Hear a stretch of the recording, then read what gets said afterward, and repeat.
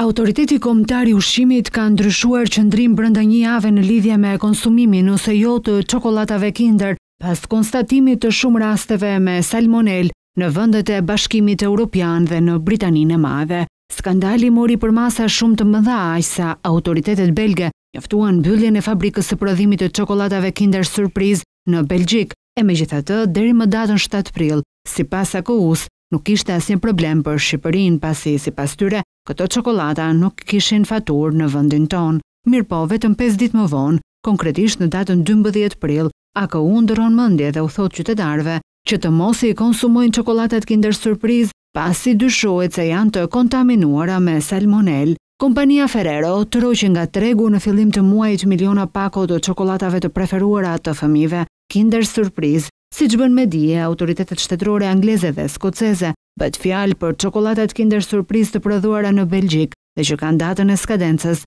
mes njëmbëdhjetë korrikut dy mijë e njëzet e dy dhe shtatë tetorit dy mijë e njëzet e dy. Kompania dyshonte më pas u konfirmua se ky prodhim është i kontaminuar me bakterin e salmonelës, i cili shkakton diare, dhimbje koke e ethe, ndërsa mund të çojë deri në humbje jete nëse nuk trajtohet siç duhet.